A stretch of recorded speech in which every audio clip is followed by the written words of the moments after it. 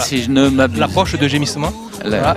Et donc du coup, on, Tu vas le chercher, ouais. Tiens, Olivier va aller le chercher pendant que tu nous en Voilà. parles. Donc du coup, on- j'ai composé des sardanes autour de la cornemuse, parce qu'il faut savoir que la cornemuse faisait partie du début de la sardane, en fait de la coble. Voilà, c'était la toute première coble. Tu veux dire que un avant- flaviol, une flûte Avant catalane Pep et- Ventour euh, et Ah, voilà. L'arrangement de. tout début- le tout début Peut-être des tu- sardanes. Peut-être tu peux nous raconter, mais alors vite fait, vite fait, vite Ouais, fait, vite. comment Voilà. est-ce que ça s'est passé Comment est-ce qu'on est passé du troubadour avec euh, un on, ou deux on instruments on va très vite. La Donc, coble d'aujourd'hui. La cornemuse et la flûte, le flaviol. Donc ce sont les deux instruments, on va dire ancestraux. Autant des, donc il faut savoir que les cornemuses c'est autant des pyramides. Des, Autant des pyramides, voilà, ah des enfin, Parce qu'en fait, la cornemuse n'est pas un instrument écossais du tout. Non, en- rien qu'en France, il y a une vingtaine de cornemuses sur le territoire français. Voilà. C'est intéressant. Donc Différentes. Et donc du coup, moi j'enseigne ça, le, le cercle de Gemex, au conservatoire à Perpignan et à, à Saint-Laurent-de-la-Salle, enfin dans l'agglo de Perpignan. Donc du coup, il y avait deux instruments phares, la cornemuse et le flaviol, la flûte catalane, qui étaient à l'origine de la coble. Après, la coble a évolué et est passée à sept musiciens. Avec, on a rajouté des, hautbois catalans, des ténors, des tibles, qu'on appelait avant des primes. Et on a rajouté quelques clairons ou cuivres ou ophicléides, c'était des, euh, des gros tubas, on va dire. Voilà. Et la musique ayant évolué, on a perdu la, la cornemuse parce que c'est un instrument euh, très rustique. Et donc du coup, on, on est passé avec des fiscornes, des contrebasses, des trompettes, des, des trombones derrière. Ça, c'est Pep Ventour. Il faut Voilà. rappeler que si ça a évolué, si on a augmenté le nombre de musiciens dans les formations, Parce que la musique a évolué. c'est parce que la à musique a l'origine, on, évolué. on jouait des petits morceaux faciles à, à reproduire à l'oreille. Mais après, on a eu les partitions, donc il fallait des arriver à lire la arrangements musique. et, euh, Voilà. les- Et du coup, voilà, nous, dans la formation, on, on remet au goût du jour la coble avec l'instrument originel euh, de la cornemuse, le sac de Gemex, que vous aurez peut-être l'occasion d'écouter tout à l'heure. Ah, on l'espère. euh, Tout à l'heure, vous nous faites un vrai concert complet. euh, Je passe le micro à mon collègue Mathias. Ben, parce que je voudrais, euh, voilà, euh, on, on parle souvent, euh, voilà, souvent on parle des cobles, on voit, on voit les, les- les vieux musiciens qui jouent, etc. Et là, Mathias et, et- et David qui est un suivant, Michel est déjà plus vieux, donc on va, on va, on va pas la ranger dans la même catégorie. Mais Mathias et David sont un peu le, le renouveau, voilà, de, de- et instrumentiste de talent, multi-instrumentiste de talent et, et compositeur surtout dans ces gens-là. Mathias, il va en parler avec sa culture jazz, funk, etc. On va l'entendre dans sa composition tout à l'heure, amène à la sardane une certaine identité, comme David avec son classicisme, Michel avec son baroque, Lilian avec son traditionnel, etc. Et ça, c'est très intéressant. Mathias, tu peux parler Oui, ça de... c'est bien parce que en fait euh, les cinq on a un univers totalement différent. Donc en fait c'est c'est bien quand on le propose aux gens parce que du coup euh, on a on a vraiment un mélange. Le concert, euh, il n'y a pas une œuvre qui se ressemble, il n'y a pas un style qui se ressemble. Et ça c'est c'est c'est c'est une force pour nous. Du coup ça devient une force. Et moi euh, quand euh, j'ai composé euh, ma première sardane, en fait c'était inimaginable de de l'envisager au début parce que parce que c'est quelque chose. Moi, je viens de la, funk et quand je compose, les, les parties c'est basse, batterie. On part sur un groove, on, entend une batterie, on entend une basse. Et là, tu te retrouves à plat avec un clavier ou, ou quelque chose et tu tu vois pas. Les pupitres. tu, voilà, tu vois, tu- t'imagines pas tout ça. Quand Olivier m'a dit ah essaie de composer quelque chose, en fait c'était parce qu'on travaille avec une coble beaucoup la contemporaine, qui est une, une coble de, de Catalogne du, Du Sud, Sud. et euh, et on, on partait sur un CD. Et euh, Olivier nous a dit ce serait bien euh, les jeunes là euh, de, de s'y mettre. Et À juste titre. voilà. Et du coup, on est parti là-dessus. Et moi, j'ai essayé au début de faire une sardane euh, traditionnelle. Donc euh, voilà, avec les sons et compagnie. Mais j'y arrivais pas, j'allais droit dans le mur. Je trouvais pas, ça sonnait pas, on, a- on en a passé une en répétition, c'était euh, vraiment, je peux le dire, c'était une catastrophe. D'accord. Et Olivier m'a dit, mais va, tu sais faire des choses, je, je t'ai entendu avec ton groupe de funk, tu sais faire des choses, euh, va, va vers là. Et là, du coup, ça s'est décanté. Euh, en fait, on se retrouve avec... euh, c'est un big band, tu, tu fais ce que tu veux avec cette Ah oui, formation. En plus, on a Popol à la contrebasse qui joue de la batterie, de la contrebasse, du rythme. Quand il y en a un qui, qui fait un pas de travers, bim euh, Non, non, il est là avec nous et il nous tient, il tient la baraque. Il, il- il a ce rôle-là. Et du coup, en fait, c'est une force vraiment. euh, la coble, on fait ce qu'on veut. Et c'est, moi, j'ai essayé de faire euh, quelque chose euh, d'original. Donc une salsa sardane, de mélanger les rythmes un peu cubains, un peu. Voilà, on va la jouer Super, tout à l'heure. tu- vous allez nous la Voilà. jouer pour Ouais, on la jouera tout De toute à façon, l'heure. l'originalité, c'est quand même la nature même de la coble. Nous, ici, à peu près tout le monde connaît, à Roussillon, enfin, dans le département, enfin, les deux Catalognes. Mais quand tu sors de Catalogne euh, avec cette formation, tout le monde est assez bluffé parce que c'est quand même assez extraordinaire. Je pense que c'est unique, ce genre de formation euh, instrumentale. euh, Oui, traditionnel, oui. En général, on a quand même deux, trois musiciens, un accordéon, euh, une vielle, etc. Euh, sur un spectre comme ça, quasiment symphonique, dans toutes les voix, euh, c'est unique au monde, tout simplement. c'est ouais, ouais, c'est unique au monde. Et puis, ça sonne. C'est un peu notre, notre, notre malheur aussi, parce que pendant très longtemps, les Bretons, les Corses ont pris de l'avance sur nous, parce qu'ils ont dû vite fait, pour survivre, ils ont dû vite fait euh, se, se moderniser et aller voir ailleurs. Et nous, on était un peu dans un ronronnement comme ça, on était bien entre nous, on avait besoin de personne en fait. Bon, c'est très politique aussi, hein, parce que chaque fois qu'on demande une cob, c'est pour faire des danses, danser des sardes. C'est chaque fois que tu parles de, de, de, de concert de coble, par exemple, euh, personne ne l'entend. Alors que c'est vraiment dommage parce qu'il y a des pièces qui sont écrites et qui sont magnifiques. euh, des, des- reprises, plus des reprises, parce que là, on- là, on arrive sur David Bigassou, qui est euh, trompettiste, compositeur, mais qui est aussi pianiste, avec qui par exemple en concert maintenant on joue la, la Rhapsody Blues de Gershwin en intégralité avec ce monsieur au piano. Donc euh, rien que ça. Eh oui. Donc euh, voilà, aussi encore une diversification de la coble et, euh, et encore un talent exploité dans notre musique. David Picasso. donc. Eh oui, ouais, voilà. Voilà, Donc, David, tu es pianiste. Voilà, toi, c'est ça. Moi, à la base, Mais tu de joues de quel instrument dans Alors la là, je joue de la trompette dans, De la la, dans la trompette. coble. Ah ouais. Et, euh, et donc ben, de formation euh, classique, conservatoire. Je suis professeur de piano au conservatoire de Perpignan. Et euh, ben, voilà, je, je suis rentré à la, dans la coble 13 Benz en 2016. Ouais, c'est ça, oui, c'est ça, Oui, oui, euh, voilà, ça fait 4 ans. Et au bout de quelques mois, ben, comme disait Mathias tout à l'heure, il y a eu euh, l'opportunité euh, de faire un CD avec Essayer la composition. Voilà, Voilà. d'essayer la composition. Et moi, ben, je me suis servi un peu de, ben, de tout ce que j'avais appris, de ma formation. Et euh, voilà, je suis parti sur, euh, moi, euh, sur quelque chose d'a- d'assez lyrique. D'abord une mélodie. C'est le classique que, de la langue. Voilà, que, que j'habille, voilà, que je développe et tout ça. Et c'est chouette. Et, puis maintenant, j'en suis à 7. 7-8 et Ouais, il faut savoir quand même, il, le- il le dira pas donc je le dis Non. pour lui mais euh, il a remporté quand même le concours de composition pour la capitale de la Sardane de Perpignan donc c'est quand même euh, la Sardane David Oui. en, en Mm. co en co avec René Piquemal qui est dans Ah, René, on l'embrasse à René Piquemal qui est. J'adore les. et. Ah ouais, la classe, j'adore les compositions de René. Voilà, et donc ils, sont, ils ont terminé premier, premier ex aequo, Premier donc ex euh, David, avec euh, quand même, c'est, René est un vieux loup de la composition, et là, non, un Mm. jeune loup donc, qui s'est hissé de suite très vite à, à des très hauts niveaux. René qui a arrêté de jouer dans les cobles, il me semble. Ça fait quelques temps déjà, ouais. Mais il écrit toujours. Mais il écrit toujours, on s'en réjouit. Un peu, peut-être on peut parler deux secondes des instruments endémiques qu'on peut retrouver dans les cobles parce que Flaviol, voilà, c'est, c'est, j'ai suivi le micro, je me suis dit, tiens, c'est la bonne personne pour ça. Michel Tinière n'est pas fait pour ça, on l'appelle le professeur, c'est pas pour rien. Alors, parce que tu peux nous parler du flaviol que tu as dans les mains, du tambouri que tu as le long du corps. Et après, peut-être euh, rapidement, on parlera des autres instruments qu'on retrouve euh, Bien sûr, pas dans les restes des formations. Tible, ténor et bout. C'est à peu près les instruments. hein. Les trompettes, on connaît déjà parce qu'on les retrouve dans d'autres formations. Mais déjà, au moins, si on peut rapidement résumer flaviol, euh, tible, ténor. Alors on est parti pour faire euh, un petit récapitulatif. Alors voilà, le, le flaviol qui est assez emblématique puisqu'il il démarre toutes les sardanes avec ce qu'on appelle un appel. Voilà. L'appel, Et alors, qui est euh, toujours le même. Exactement. Alors oui, c'est toujours, toujours, le même, mais toujours non, c'est pas codifié. C'est-à-dire que chaque euh, flaviolaire euh, va y mettre un peu sa personnalité, un tout petit peu. D'accord, tu Euh, veux dire qu'on peut reconnaître euh, oui. Ah oui, tout à fait. Oui. le- tout à quel fait. coble joue en fonction de l'appel Oui, tout à fait. Oui, oui. euh, C'est vrai qu'il y a une, une base, on va dire, à peu près commune, mais il n'est pas interdit de, de prendre des libertés, puisque c'est absolument pas écrit. Là, on est vraiment dans la tradition, et c'est un appel. Ça fait pas partie de la sardane. Ça veut dire attention. un appel, c'est la- pour dire, voilà, euh, ça- attention, la attention, sardane va va, va démarrer. D'accord. Soit on va se mettre à, la danser, ou alors la compter et la répartir ensuite pour pouvoir la danser correctement après. Voilà, donc euh, c'est un appel en fait. On va rassembler les gens. Attention, ça va commencer. Voilà, c'est euh, voilà. voilà. Alors c'est la petite une petite flûte de berger, les bergers au 15e siècle qui jouaient ça dans la montagne. Et euh, c'est une flûte qui a la particularité de se jouer avec une seule main. Et c'est la seule flûte au monde qui utilise les cinq doigts de Et la main. cinq doigts. Et il Les y a cinq un doigts de la octave, main. non Voilà, il y a deux octaves. Deux et octaves. Voilà, un peu plus, voilà, deux octaves, une tierce. C'est un instrument transpositeur en Fa. Alors, comme il est très aigu, on va transposer pour les, euh, les connaisseurs à la onzième note supérieure. C'est-à-dire que je joue une note, mais je vais entendre onze notes Au-dessus. au-dessus. Voilà. Et alors ensuite, euh, juste. Alors, euh, tu es accompagné du tambouri rapidement alors, voilà qui le donne le tempo alors, le- les musiciens. alors, oui et non.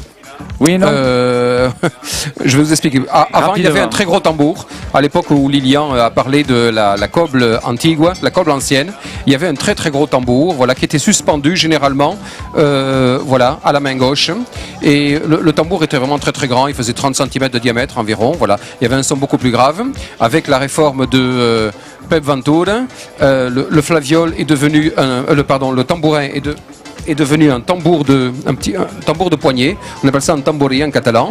Et il a la particularité d'avoir un son très sec. Voyez, Euh, il n'a pas de résonance. Il est fait vraiment pour euh, peut-être euh, s'occuper de la partie rythmique de la, à, gauche et la contrebasse s'occupe vraiment de, de l'autre côté. Voilà, il suit la contrebasse et il, on va dire, il, il donne ce petit, ce petit caractère percussif un tout petit peu pour la danse, surtout. Voilà, mais c'est la contrebasse le patron. C'est la hein. contrebasse, C'est le le, le flavi- le- voilà, le tambouri qui, qui suit la contrebasse. hein. Voilà, c'est la, fondation. Là, Olivier, tu te rapproches avec la ténor. Alors, la euh, ténor, tout simplement, euh, c'est fa- famille des hautbois, donc hanche double. Voilà, hautbois méditerranéen. C'est un hautbois catalan inventé euh, en 1847 exactement par André Autoron à Espira de la Glie.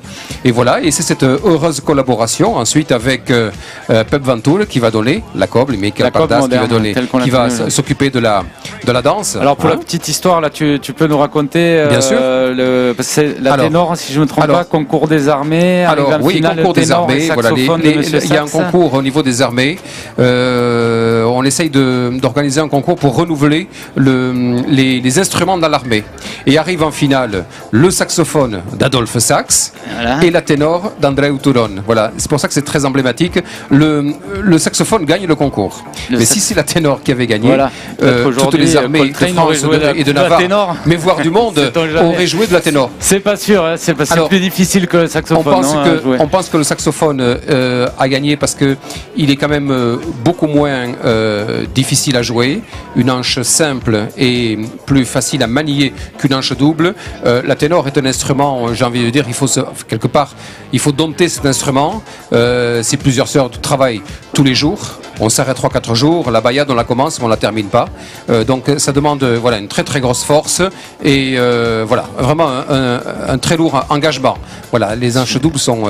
Le fiscorn à côté. alors, on va, on va s'occuper d'abord peut-être. on reste dans les hautbois mais- languedociens. J'ai envie de dire, c'est son alter ego. Alors, voix des hommes, voix des femmes, tout simplement. Voix des hommes, voix des femmes. Bien sûr, voix aiguë Ah, et voix Ténor, grave, tout simplement. Ouais, voilà, c'est- Alors, le type, alors, vous voyez le, le petit clétage qui est, euh, c'est un clétage qui est arrivé. Ils sont inspirés de la flûte traversière. En 1832, il y a un Allemand qui euh, invente un système BUM qu'on appelle, qui est un système euh, d'axes et d'anneaux qui permet de faciliter euh, les jeux de ces instruments. Et on va adopter euh, ce système, le système BUM, voilà, tout simplement. Magnifique. Voilà. Voilà pour la ligne de devant. Ensuite, euh, le, le fiscorn, alors lui, c'est vraiment euh, un instrument euh, à part entière dans la colle parce qu'il n'est pas vraiment catalan. Euh, Ça vient d'où ça tiens, et il est du nord de l'Italie, centre de l'Europe. Il a la particularité d'avoir le pavillon en face des danseurs. Euh, pour pouvoir euh, projeter le son. Tandis qu'un euphonium, le son euh, s'en va Ah, en l'air. ouais. Tandis que là, le son est vraiment directionnel. C'est-à-dire qu'il a la même projection que le trombone et les trompettes. hein. Parce que l'idée de, Pep Ventour au début aussi, quand il a pensé à la com moderne, c'était de, de, de- de développer un ensemble instrumental qui sonnait fort pour pouvoir Alors, jouer déjà parce que c'est devant musique beaucoup de monde. hein, Voilà, musique parce que de rue. musique.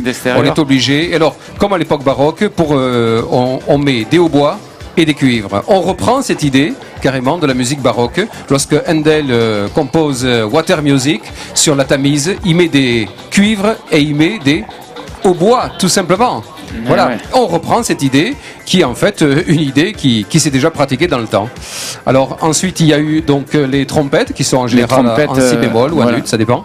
Le trombone qui était un trombone euh, à piston, euh, mais là on va le trouver beaucoup plus à parce qu'il y a quand même beaucoup plus Beaucoup de, plus fluide, de projection, ouais. de son, le son est beaucoup plus égal. Et la particularité qui est la contrebasse. La contrebasse à trois cordes, trois cordes en boyau, très écartées, puisqu'évidemment, Il faut tirer dessus. tel Ulysse qui bande le, les cordes de son arc, euh, voilà, et On a l'impression qu'elle va éclater, cette contrebasse. Voilà. Alors on est obligé de mettre trois cordes simplement pour euh, les laisser vibrer. Voilà. Sinon elle se toucherait. Il y a Voilà quand pour les instruments. quatre instruments singuliers euh, dans, dans cette formation. au- Exactement, Au minimum, c'est quand même plutôt incroyable. Merci beaucoup. On, com- on comprend un peu mieux de quoi il s'agit, mais j'invite tout le monde à aller se documenter euh, sur la coble et surtout à aller essayer d'écouter euh, des musiques de coble et des musiques de concert de coble parce que c'est vrai qu'on a trop peu l'occasion d'en écouter. C'est peut-être un appel que je lance à Marie Costa. Ça serait peut-être bien d'organiser des concerts de musique de coble euh, sans sardane, juste d'écoute.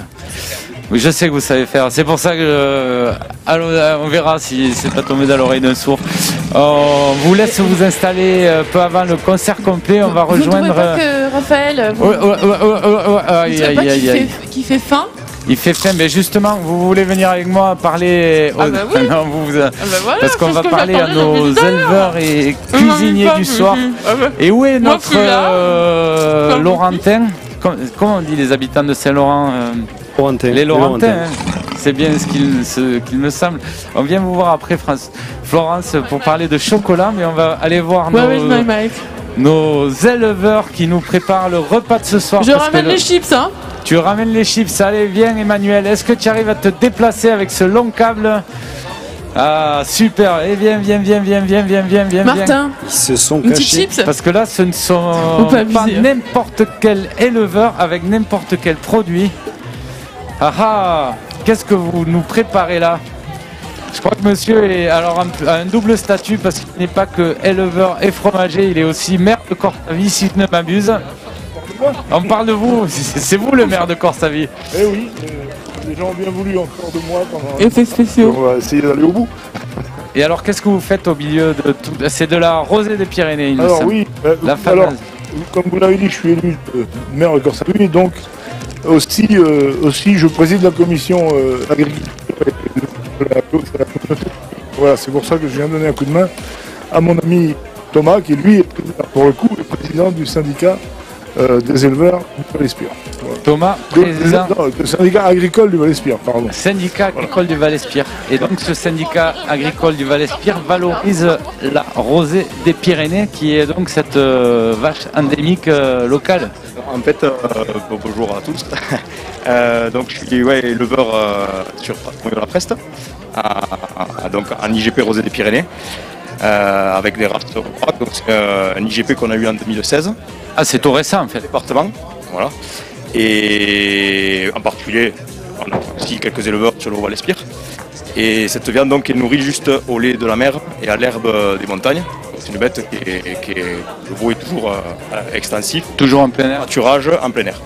D'accord, superbe. Et- En fait, le syndicat agricole du Val-Espire, non, c'est une, une- un syndicat où- qui regroupe euh, l'ensemble des agriculteurs du Val-Espire, qui le souhaitent.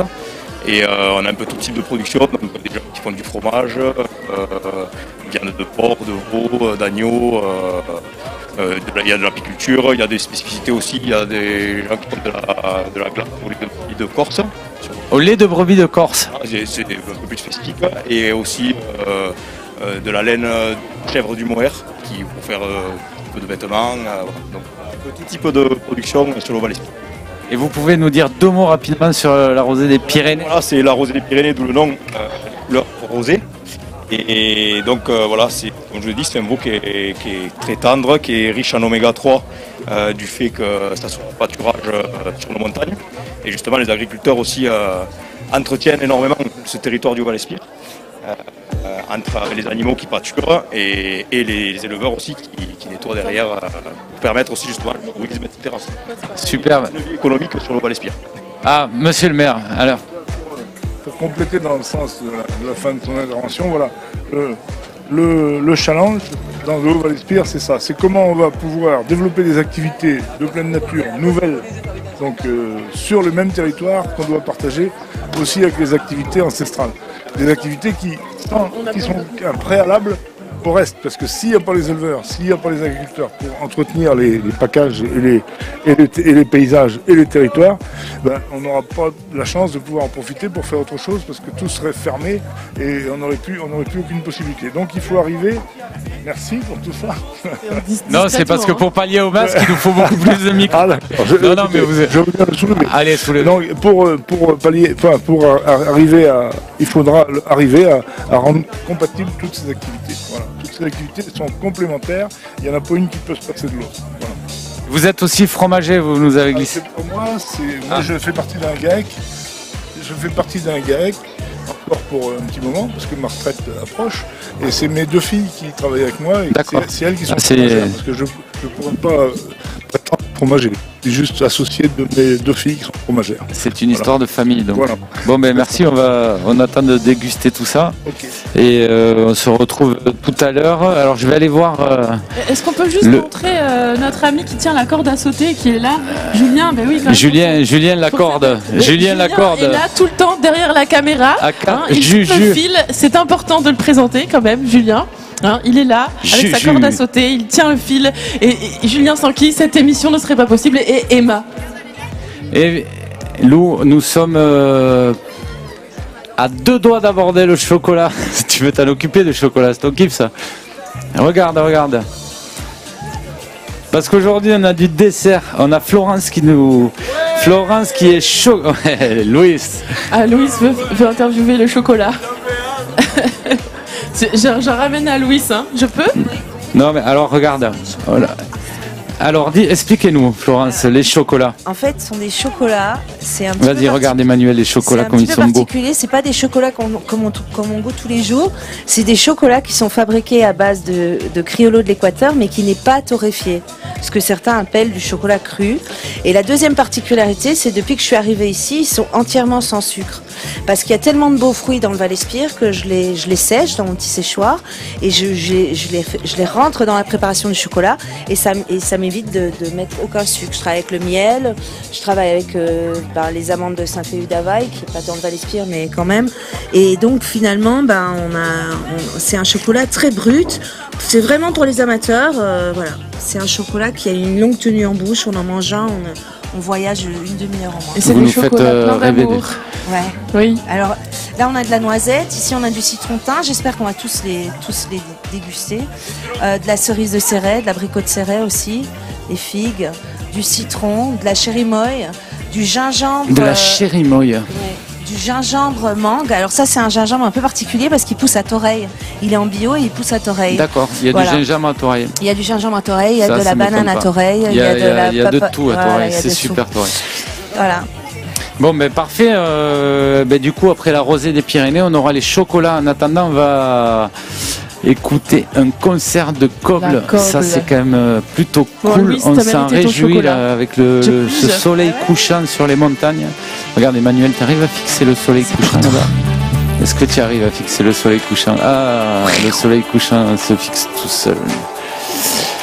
La Coble 13 Benz pour euh, un grand moment de musique traditionnelle. Ah, on va te don- ouais, on va donner un micro. Parce que... Tu l'as le micro? Ah ben super. Ça Parce qu'en plus, nous sommes équipés. nous sommes- vous allez nous expliquer à chaque fois ce que vous faites. Allez, Allez, bon concert. On se retrouve tout à l'heure. Alors, on va vous présenter euh, cinq sardanes.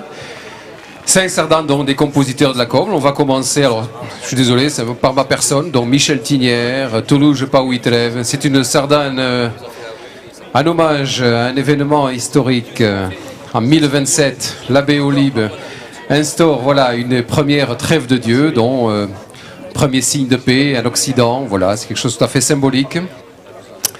On va vous les jouer à un court, un long, pour que vous puissiez euh, profiter de, toutes ces sardanes. Donc en première donc, audition, Toulouse, pas huit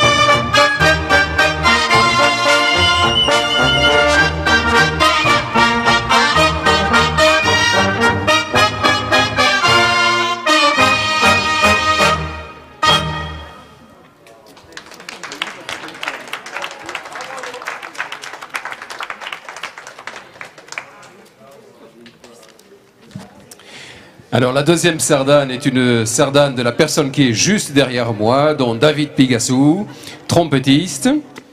Euh, il nous signe une sardane qui a pour titre Camins de l'exil. Elle fait référence à la retirade aux 80 ans que nous avons fêté l'année dernière, dont les 80 ans de ces républicains qui fuient l'Espagne franquiste. Voilà, David est pianiste, mais que trompettiste, et puis évidemment un excellent compositeur. Je vous laisse donc avec cette très très belle sardane, très lyrique, Camins de l'exilé.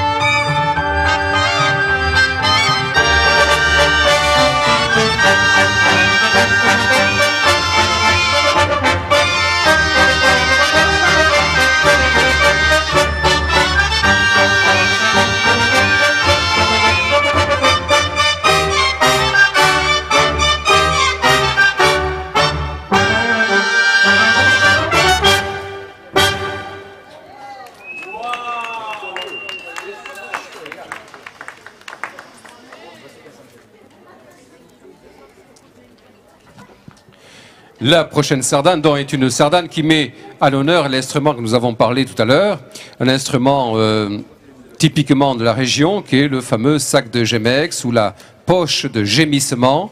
Euh, C'est Lilian Pérez, donc professeur d'instruments traditionnels, conservatoire de Perpignan, qui nous a écrit cette, cette pièce. C'est un mot valise, Gemex et exit qui signifie succès, dont euh, le succès de la poche de gémissement.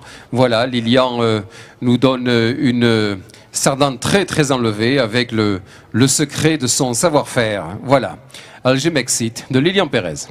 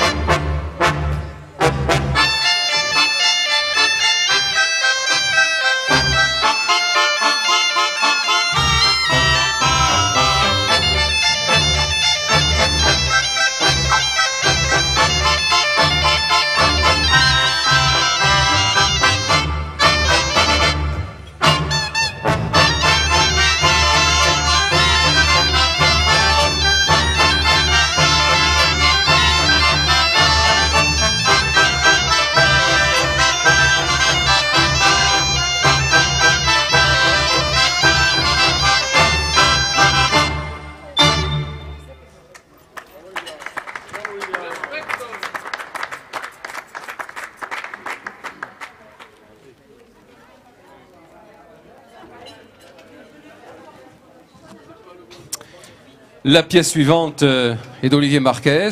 Alors il est bon de rappeler qu'Olivier Marquez, c'est le seul Nord catalan qui a à ce jour gagné le concours de la Sardane de Line. Voilà, c'était il y a trois ans déjà maintenant.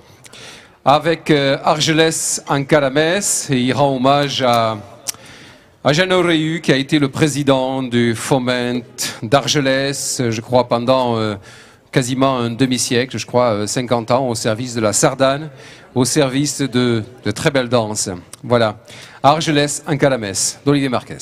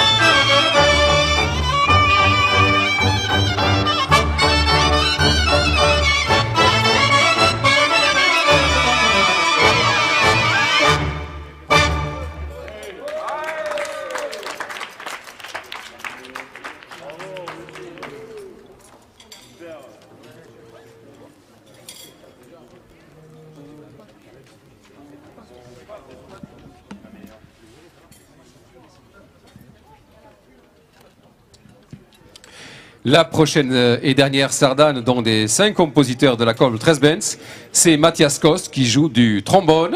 Voilà, Mathias. Vous pouvez l'applaudir si vous voulez. Alors, Mathias, euh, c'est celui, bah, c'est le jeune de la Coble. Hein, voilà, il s'intér- il s'intéresse euh, un peu au ska, au funk, etc. Il a une manière tout à fait euh, spéciale d'a- d'aborder la, musique avec euh, sal sardane. Donc, c'est un mélange. Voilà, un autre mot valise avec la, la salsa et la sardane qui se réunissent. voilà, dans une joyeuse, on va dire, communion, mais ça reste toujours une sardane. Donc, sal sardane de Mathias Coste.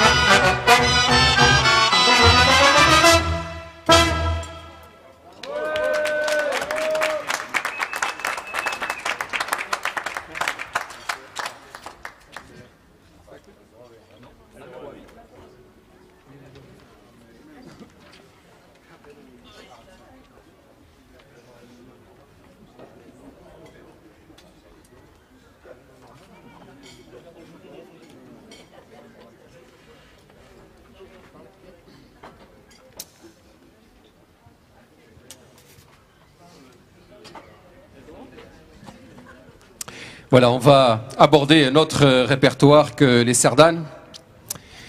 Tout début de la coble, on s'est dit que la sardane c'était bien, et mais que la musique était ben voilà tellement riche que c'était un peu dommage de se passer de certains répertoires. En l'occurrence avec Almeu Abi, il s'agit d'une très célèbre habanera.